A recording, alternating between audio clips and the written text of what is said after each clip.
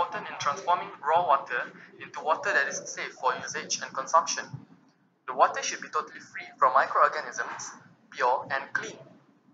In water treatment, it involves two major processes, that is physical solid removal and chemical disinfection. None of the biological process is involved as compared to the wastewater treatment. For the first stage is raw water catchment in the reservoir. There are two main sources of raw water which is groundwater, this may include wells, and surface water, this may include lakes, rivers, and etc. In Malaysia, the main water source will be the latter, the surface water.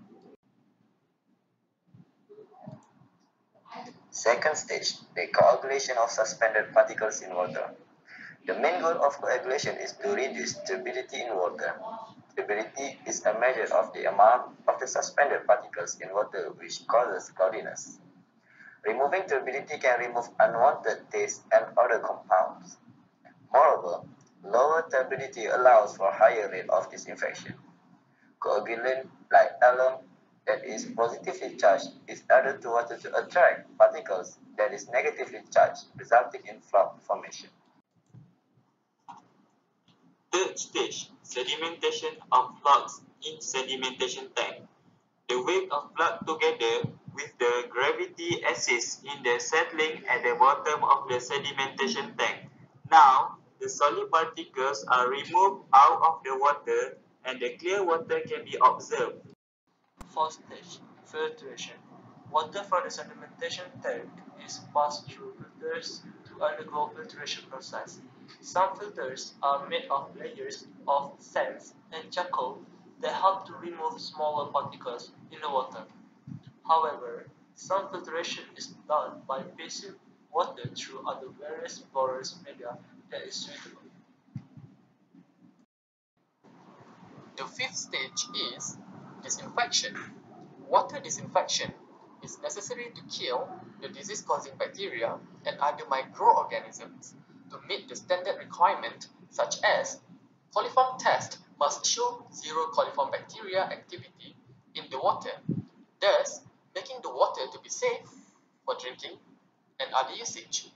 In Malaysia, chlorination is widely used in which the chlorine gas is dissolved in the water to produce free chlorine. Last but not least, sixth stage, storing treated water and distribution. Treated water is channeled through one pipeline to storage and balancing reservoir. Water is stored for a duration of time, allowing disinfection to take full action on microbes. Storage tank is placed at sufficiently high off the ground to allow gravity to distribute water to various areas such as homes, industrial and business area. And now, let's watch the video from the YouTube. This is a very basic overview of the water treatment process. Customers always need water, but rainfall is seasonal and increasingly unpredictable. So we often use storage reservoirs to make sure there's always a supply for treatment. By passing water through mesh screens, we remove sticks, water weeds, and other large foreign objects. The air takes some odours and gas from the water and allows some dissolved metal salts to separate to be filtered out. We add air by cascading the water down a tower, spraying it into the air, or bubbling air through it. At this stage, there are still some fine pieces of matter suspended in the water, along with colour and bacteria. We add a precisely controlled amount of a coagulant like ferric or aluminium sulfate. This reacts with the material in water, making it all stick together to form what's known as floc.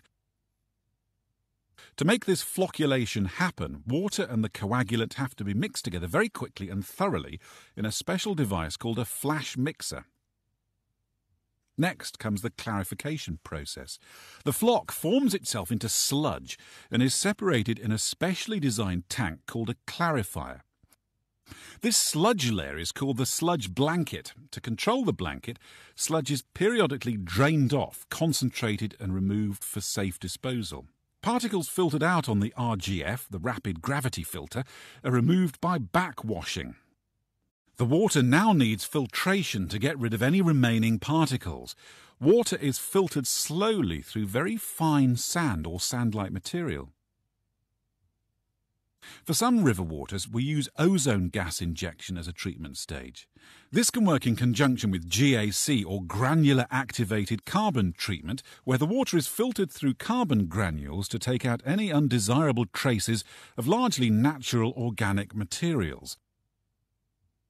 The carbon in these filters is removed and regenerated by heat so it can be used again. Now the water's filtered and thoroughly cleaned, it's disinfected to make sure no harmful bacteria remain.